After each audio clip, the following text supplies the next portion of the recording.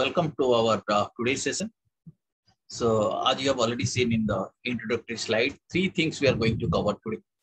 One is uh, the concept of doctrine of ultra vires. Second thing is the doctrine of constructive notice. Third one is the doctrine of indoor management. These are the, in fact, the three doctrines or three principles which are very fundamental to the company's law by this time we have already completed and we have already understood what is memorandum of association or what is articles of association.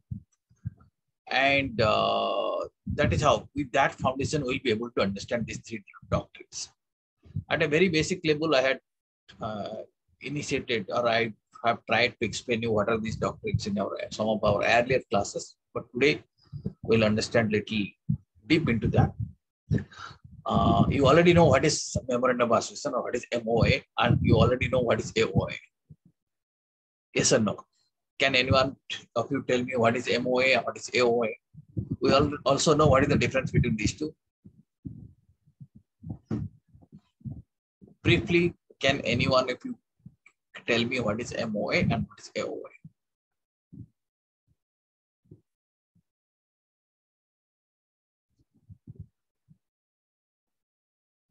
Any idea? Well, I'm going to show you once again one more MOA. Just have a look into that. And what is one more AOA? Just have a look into that. After that, again, we'll be discussing the concept. So broadly speaking, MOA uh, is the, you can say, uh, constitutional document of the company.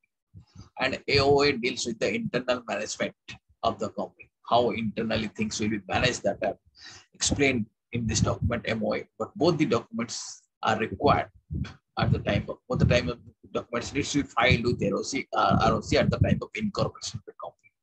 Let us once again have a look at an MOA and uh, EMOA I'll be showing you just now. Have a look once again. And a few points of MOA are extremely important for us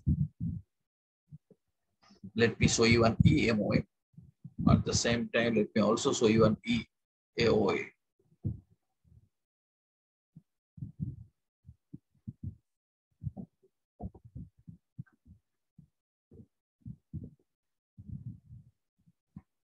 Okay.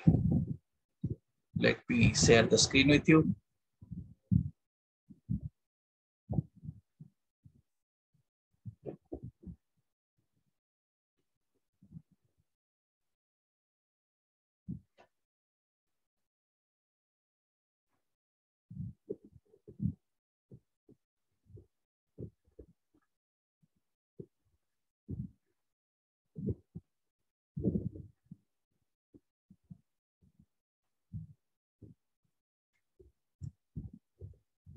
Just give me one more minute.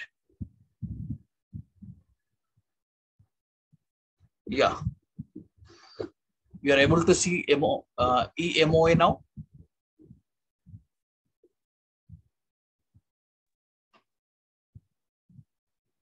Are you able to see it? Yes, sir. Yes, sir. Okay. So, you know, there are major clauses. You already know name of the company will be there. Situation of the company, that is where registered office will be located. That will be also mentioned here. Then what is important here, most important in the context of this doctrine of ultra vires is our third clause, which is the object clause. You already know that object clause, you can see it has got two components. Just have a look.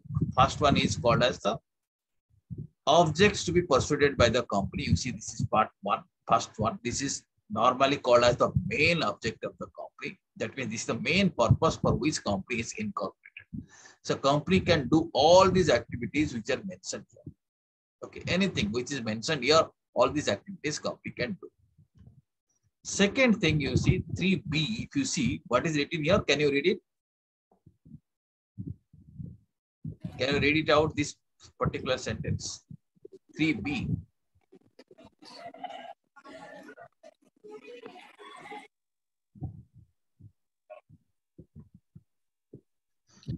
Sir, it's matter uh, which the necessary for furtherance of the object specified in the clause 3A are That, okay, that means some items are mentioned here. See, these items are necessary for furtherance of the object specified in clause 3a. Therefore, we call 3a is the main object. This is what company can do. But in order to carry out all these things, certain other activities may be necessary, which are mentioned here.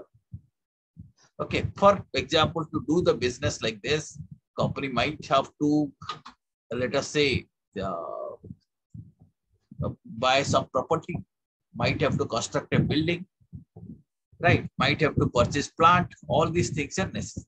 So this is you can the main object, and this is the object which are necessary for furtherance of this main object. Now, if you look at here, you can see a long list. Are you able to see it? So many things are mentioned. But one has to ensure that all these things are these are you can be you can say the supportive objective. That means in order to attain the main object, these objects can be carried out. Are you able to see this list? Yes, sir. And why it is written in such a exhaustive manner, so many things are included. Because you'll be knowing it, that company cannot do anything beyond this. Therefore, you are supposed to prepare a very exhaustive list. Anything if you want to do, it has to be included in this. Okay. If you are doing something which is mentioned in the object, that means this particular act, that particular activity is authorized by the memorandum of association. If it is authorized, then we'll be calling that act as intra vires. Okay. And if it, is, if it is not authorized, then we'll be calling that act as ultra vires. Ultra.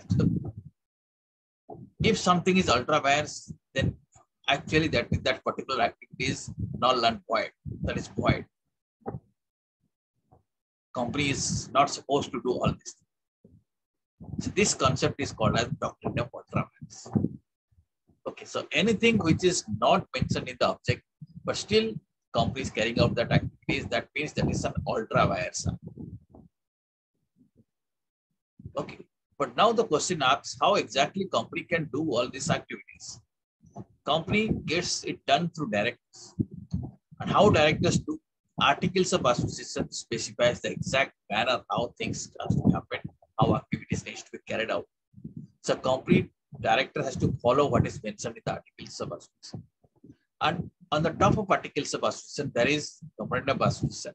That means which gives the broad power that these are the things which can be done. Beyond that, nothing can be done. And on the top of it, there is Companies Act 2013 that clearly says, or these are the acts which are legal, which can be done. These are the things which are illegal, which cannot be done. That means everything has to be done within the framework of Companies Act, within the framework of Memorandum of Association, the framework of Articles of Association, and within the powers of the directors. Okay, so this is how normally company carries out its activities. Now, friends, let me, uh, at the, in the meantime, let me show you the other documents, articles of association. After that, I'll be showing you the slides. Just give me one second. One more second.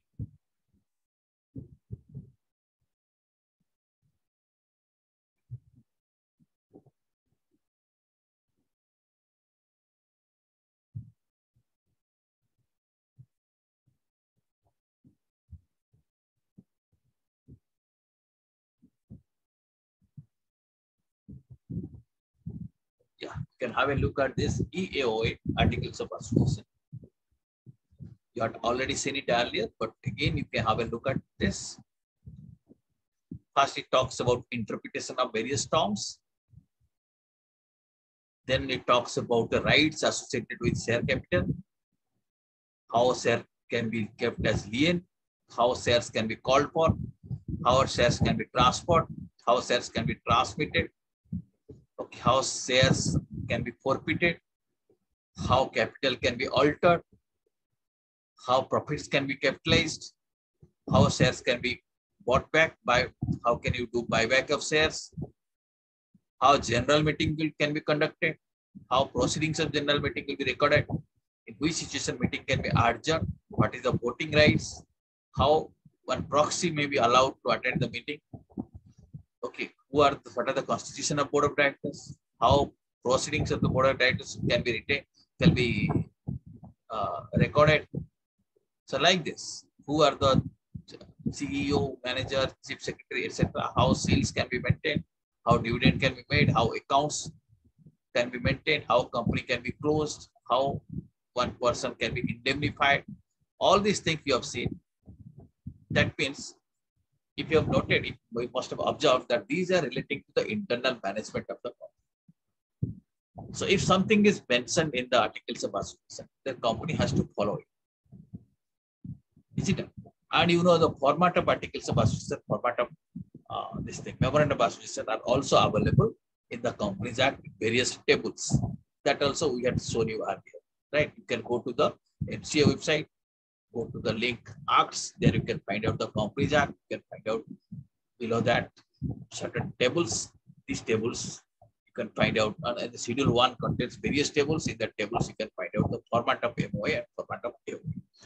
We have seen it earlier. Have you remember?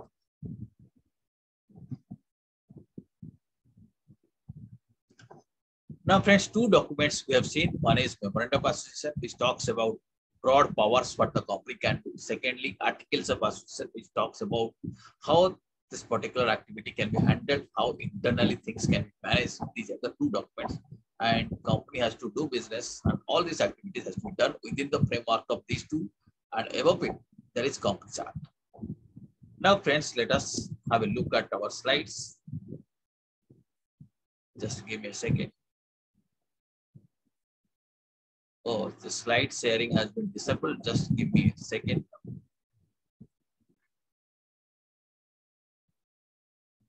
Friends, going to share the screen with you right now.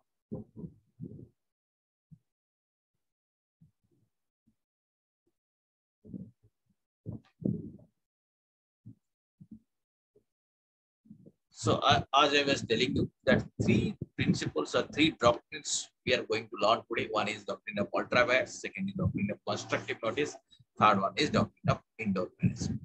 When you say doctrine of constructive notice and indoor management, they are uh, related to these two documents, or you can all the three things are related to these two prime documents. That is uh, memorandum of association. Second one is articles of association. Okay, you know what is the meaning of ultra vires? Ultra vires means beyond the power. There might be some activities which is beyond the power of the memorandum of association. When I say it is beyond the power of the memorandum of association, it is contrary or beyond the scope of activities of the law.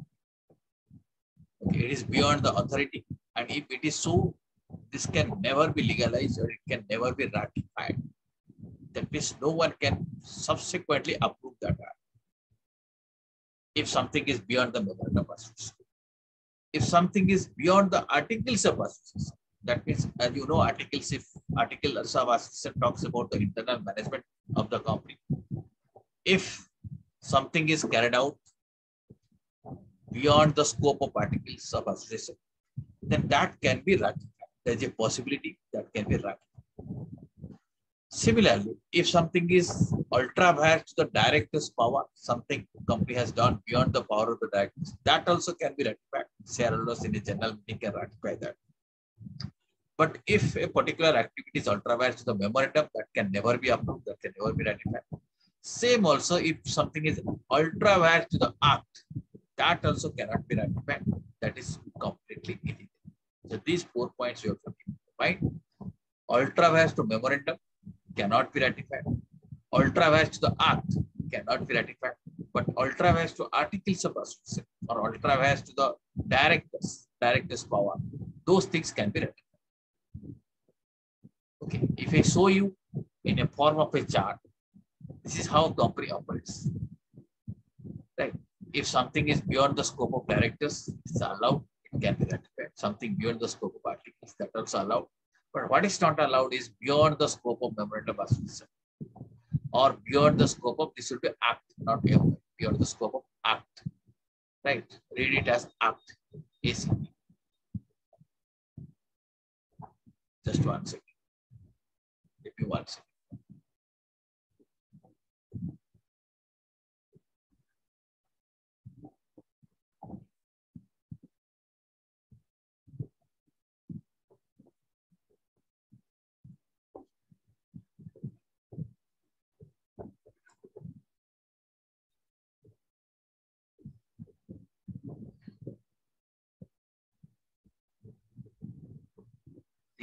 Something is beyond the scope of the act, that also cannot be ratified.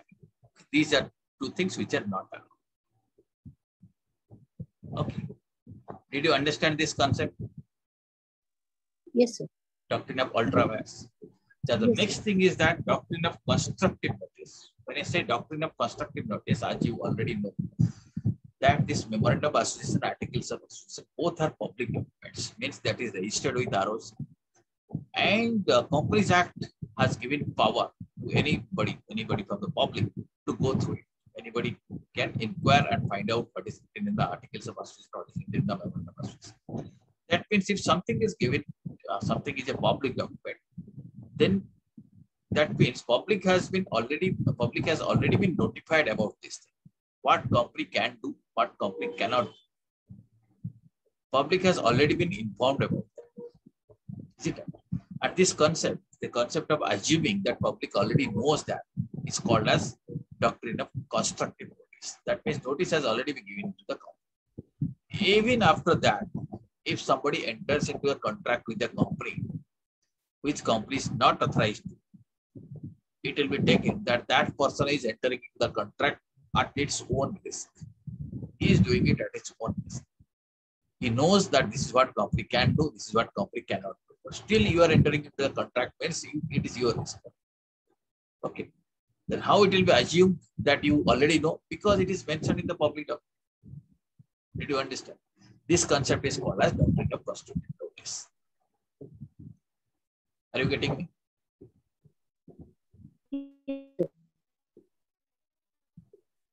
There are several case laws where this, this concept has been decided.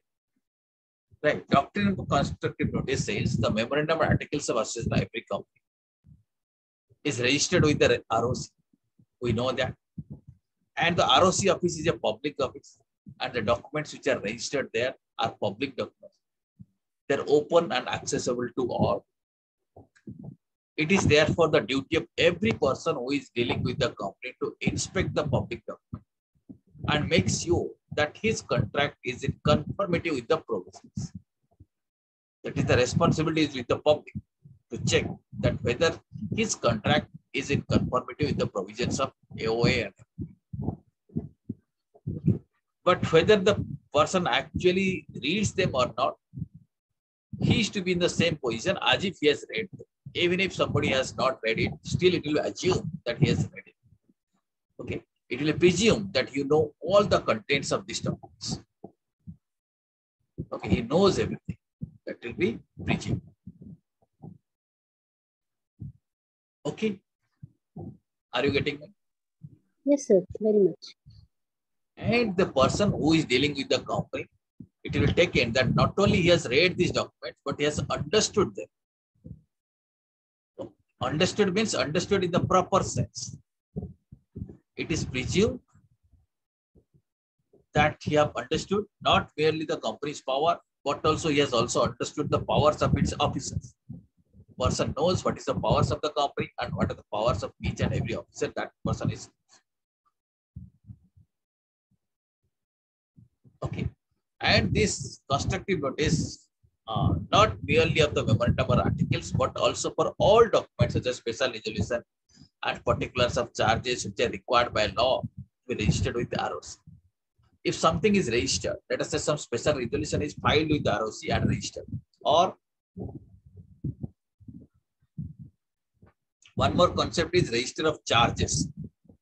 When company takes a secured loan, loan secured loan means some asset has been offered as security. Company register the charges. Company discloses with the ROC that these are the my assets against which I have already taken loan. So there is a charge against this asset. The charges are also registered with ROC. The moment it's registered, that means public is given notice. It will assume that public already knows that these are the assets of the company, but there are charges against it. You also yourself can check it. You can download company's master data. You can find out what are the charges against this company. That means public is aware of. Understood? What is the meaning of charge? Meaning of charge here means assets are secured against a debt. Company might have taken some debt from a bank, might have taken a bank loan, And in that bank loan, company has already offered these assets as that is also registered. Okay. The moment it is registered by the company, so it will be taken that public is already notified about that. Public knows. Still, someone buys that asset, that means public is doing at its own risk. He knows that these assets are registered with ROC. Somebody else is having a lien on this. These are the secured assets, but still he is buying that asset. He is doing it at his own. Did you understand? This is called as constructive notice. As if notice has already been given to.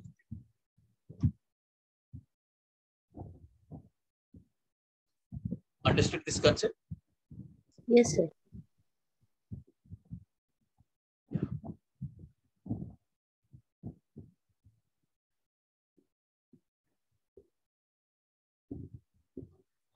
Now, this concept, doctrine of constructive notice, actually, concept is very old, but section 399 of Companies Act 2013, you can say this is this gives a foundation to this principle because 399 allows outsiders to inspect this these records of the company.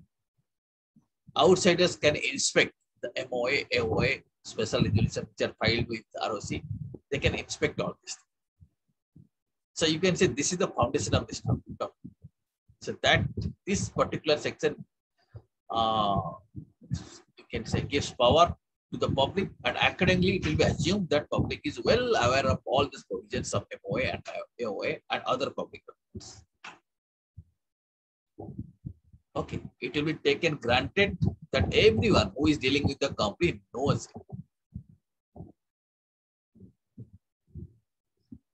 again, the legal implication of this thing is that legal implication of this doctrine is that if a person deals with a company in a manner which is inconsistent with the MOA and AOA, that is MOA doesn't allow this thing, or AOA says it has to be done in a particular manner, but somebody is doing it in an inconsistent manner, in a manner which is inconsistent with the provisions of MOA and AOA. Meaning that means he is doing it at his own risk and costs shall be bought by himself. If company refuses to pay money as per that kind of contract, in accordance with that contract, then he has to bear the consequences, he has to face the loss. Okay. So there are various case laws are there in this regard. This is one of the case case law, Oakbank Oil versus Crum versus Crum. Here also courts have decided that uh, it has been held that anyone dealing with the company is presumed not only to have read the memorandum articles, but have understood them properly. It will be presumed that a general notice is given to the public, therefore it is called as doctrine of constructive notice.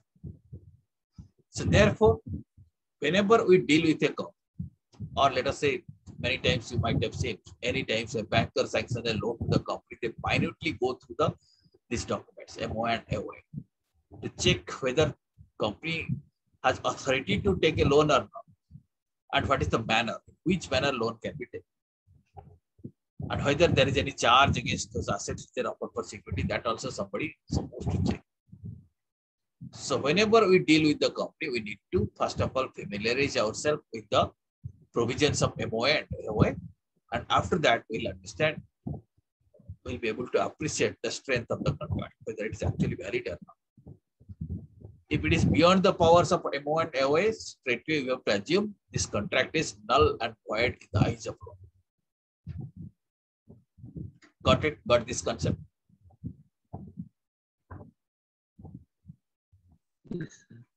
This is doctrine of constructive Friends, there is one more uh, principle or one more doctrine that is opposite to this doctrine of constructive notice. That is called as the doctrine of indoor management as you have already said, doctrine of constructive notice is very helpful to the company. Okay, it can be invoked by the company. It helps the company in the sense if somebody does a wrong thing, company can say, I don't know, you are supposed to know everything because I have already given you a constructive notice. Yes or no? It helps the company. Yes, sir. Is it not? But the other rule, other doctrine, other principle that we are going to learn, it helps the outsiders. Here, outsiders are supposed to presume, outsider has got a right to presume that your internal rules and regulations are properly complied. Company has complied all the internal rules and regulations. So as an outsider, suppose I am an outsider, I am dealing with the company, I will definitely see whether, let us say I am entering into a contract, I will check whether the company, company has power to enter into this contract or not. I have seen company has the power. Okay. Let us say, I will say, I will see whether board has power or not. I can check the articles of association. If the board has also power to sign them. But let us say internally company management has decided that for this kind of contract or any contract above this much amount, instead of two directors, three directors should sign in a contract. Sign in the, let us say, agreement paper. Three directors should sign. But I am giving a contract where two directors have signed. Okay. I will assume that this is valid because that is whether two directors will sign or three directors will sign, that is your internal management. Okay. So I got every right to assume that you have taken care of your internal management. Or I can say that is your indoor management. You cannot say you have given me constructive notice. No, you have not given me any kind of constructive notice. That is your entirely indoor management and I need to assume that that has been properly taken care of. So in my contract, directors has power, directors have signed, I will say this is valid contract. And since it is authorized by MOA, if you do not pay money, then I may go to court of law. And is a valid contract. In the eyes of law, this is a valid contract. Did you understand? What is the difference between doctrine of constructive notice and the doctrine of indoor management? Yes, sir. Therefore, doctrine of indoor management helps the outsiders. Is it not? It is very helpful to the outsider. It can be invoked by the outsiders.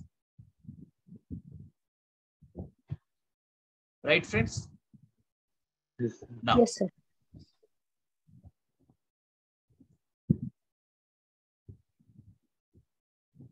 So what I was telling you, exactly same thing is concerned in this slide. This is opposed to the principle of constructive notice. Okay, constructive notice protects the company, whereas the doctrine of indoor management protects the outsiders. Okay, it follows that there is no notice as to how the company's international uh, internal ma- machinery is handled by officers. How officers of the company are handling the things internally. I don't have any notice on that. I have to assume that it has been dealt in proper manner. They have handled it in proper manner. Okay. If contract is consistent with the public documents, that means contract is consistent with MOA and AOA. The person contracting will not be prejudiced. That means will not be allowed to suffer loss by irregularities that may be set in the indoor working of the company. There might be some irregularity, but that is irregularity relating to indoor management. But the contract is consistent with the public. If this is the situation, then I will still say that contract is valid.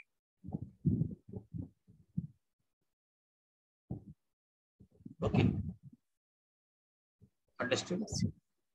So friends, in our real life, many times, whenever, wherever we might be work as an entrepreneur or might be, many times you have to deal with companies. So whenever we are dealing with a company, you have to make yourself very familiar with its MOA and MOA.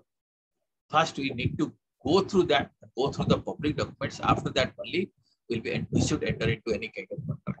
Otherwise, there is every possibility that contract may become null and void. That possibilities are also there. Okay, so one needs to be extremely careful when dealing with a company. Since this is an artificial legal person, it can do only what is allowed to it by law. If it is not been allowed to it by law, then it can never be ratified.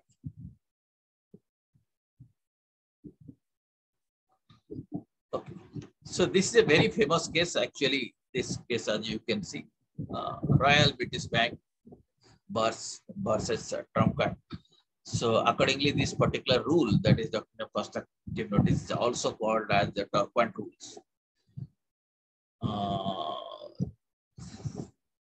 this, if you just quickly in a summary form, I tell you, here is a company, this Turquand company had a clause in its constitution that allows the company to borrow money once it is approved and passed by a resolution of shareholders at a general meeting.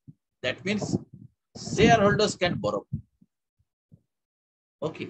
And the company entered into the loan agreement with this bank, Royal British Bank, with two of the co-directors signed and uh, in that agreement also company seal was put. Loan has not been approved by the shareholders. Company defaulted the payment. Okay, and bank went to court of law. Company refused to pay because it company said the directors has got no right. Directors has got no right to enter into a loan agreement. Only shareholders has got right to approve a loan. Okay, but subsequently it was held that that outsiders is entitled to assume that the resolution was passed. We are entitled to assume that shareholders are up. Okay, it is your internal management that the directors before signing the document should have obtained the shareholders approval. They have not obtained. But outsiders, how outsiders will know? So this is the internal management of the company. So the contract or the loan is still valid. Okay. So it is assumed that the resolution was passed by the shareholders. So this is one case law which talks about the doctrine of internal management. There are many case laws like this. Understood this concept?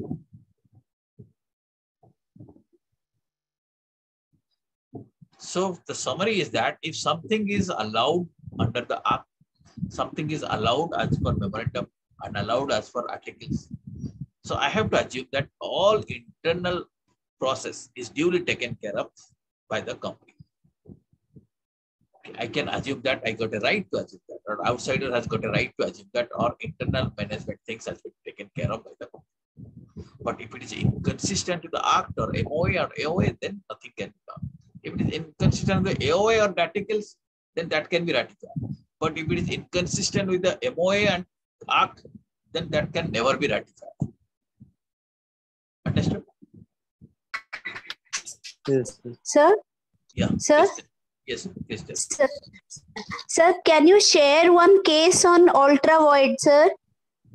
Case on ultra vires. Okay, okay. I will, I will Right, tell you maybe some appropriate time. There will be many cases like this. Many cases like this. The doctrine of ultra vires Can we get all these? sorry. Sir, carry on, sir. Sorry for the interruption. Please carry on, sir. So what I was telling you, doctrine of ultra vires means very simple thing. You have to see those clause 3A, B, you had already seen in the memorandum. If something is not there, that is ultra. That is ultra. So I am giving you an assignment today. You do one thing, go to any company's website if you feel like.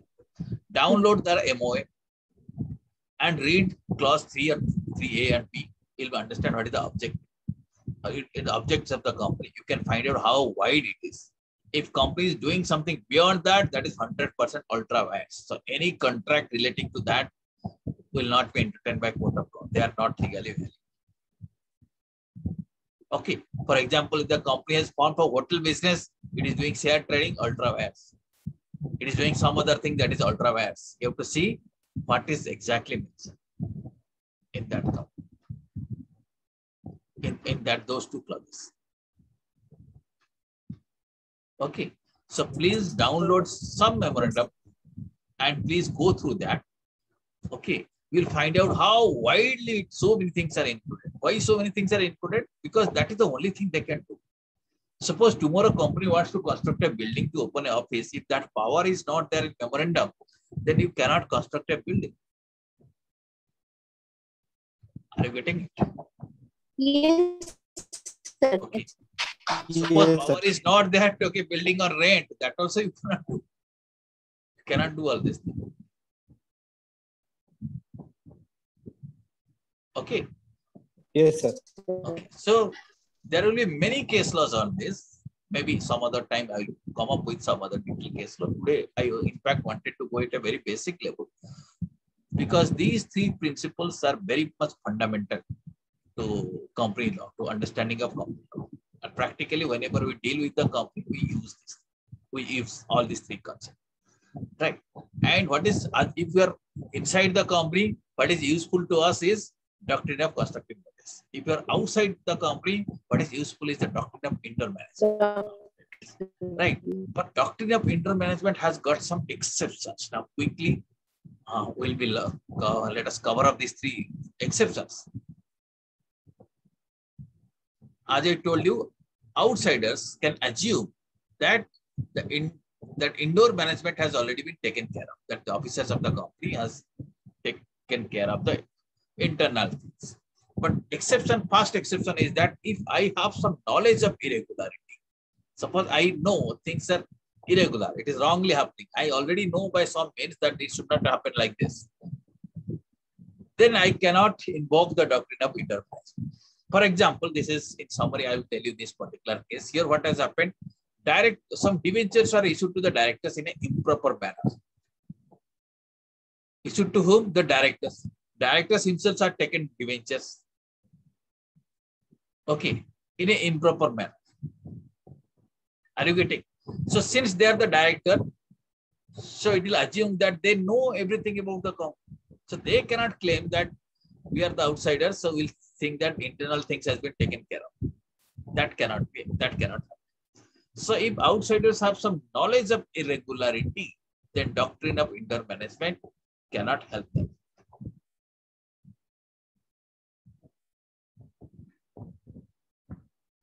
Okay. In this case, what has happened? Issue of debentures were required to be approved in the general. But without that, debentures are issued. So directors claim we got debenture certificate. Anyway, we are the outsiders. So you have to honor the debentures. Matter went to court of law. Court said, no, no, no, you are the directors. You all very much know what is the process of issue of debenture. And that process has not been followed. So since you have knowledge of irregularity, the doctrine of intermanagement will not be helping you. So this is case one. Second case is the forgery case. If there is a forgery, right? Forgery in this case, the particular case you see this thing, Ruben versus Great Fingall. In this case, what has happened?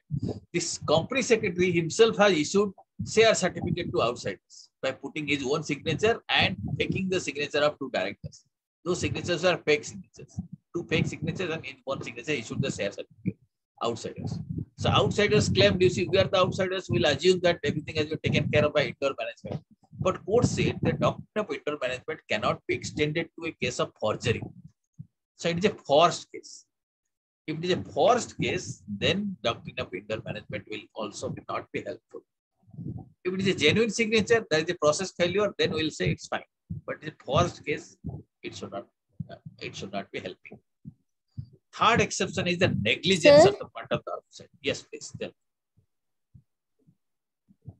Yeah, Sir, uh, in this case, in forgery and all that, sir, in this forgery case and all, so uh, then indoor management cannot help. So, sir, it would go to court of law. Then what is the I mean? What- no, it- it is a forced case. It is a forced case. If somebody has done the forgery, it will be taken care of under some other law. Forgery case is different. It's not no more a matter of company law. Okay. Okay. And accordingly, the person will be penalized. You may claim compensation for that, but that is under, under different law. We are fighting a forgery case, not a company law case. Are you getting me? Yes, sir. Yes, sir. Yeah. Now, now the last exception you can say to this doctrine of indoor uh, management is this negligence on the part of the outsiders. Okay, if outsider is so negligent, in this case, Anand Bihari Lal versus and Company. In this case, it was held that the company's property was transferred by accountant signature. So it is held that outsider is very negligent. He should be it is expected that he should know that just by signing of an accountant, property cannot be transferred. Since he is negligent, the court held that the doctor of indoor management will not be helping. Okay, so three exceptions I told you. when there is a knowledge that something is going wrong. Second case, forgery. Second, when there is negligence. Negligence in the Yes, sense almost like a gross negligence. So you cannot say blindly the doctrine of intermanagement will be helping you. But if there is sufficient justification, that doctrine of uh, uh, justification that you got every right to assume that internal things has been taken care of, in that case, doctrine of intermanagement will be helping. Right. So when we are dealing with this type of cases, then these three, three principles are extremely helpful. So, so the these three both the concepts are important for us. With this, this part that is basic concept of Companies Act is over. Next class we'll move to a different topic. Maybe we'll start with the topic of prospectus. Okay, friends. Any other query you have? Sir, I I just forgetting something, sir. Something you talk about subsidiary, sir. That against asset, that company has taken certain uh, amount uh, loan or something like that. Sir, that terminology you have used at subsidiary, something like that, sir. Could you please just uh, Help me out to recall, I'm not Charges, I told you, security. Company right some loan, some against the asset, against sir against Yeah, asset, Company, company has taken. takes a, takes a loan against some assets. That is called as the assets are under charge. That means these assets are offered as security. It's called as assets are under charge. Right, right. That I was forgetting, sir. Under charge. Fine. Assets are under charge. You may do one thing. I had shown you earlier how to go to MCA site, how to search a company. Is it now? Yes, sir. Okay. So please do one thing. Please go to the uh, uh, first of all, you go to think of any company of your choice. You may download their uh, MOA. Conveniently, you can download it from their uh, website so that you can go through one thing. Objects you can learn. Secondly, go to MCA website. You can download their this thing uh, master data, master data. You can find out if there is any assets which are under charge. Please try yourself today. If you are not able, if you are unable to do it, next session I'll be doing it. I will be showing you how to see it. What are the charges against the company. Yes, sir. Yes, sir. Okay. Okay, friends, uh, let us close our session today here. Let us catch up in your next class again. Thank you very much. Thank you. Thanks. Thank you very much. Thank you, sir. Thanks. a lot.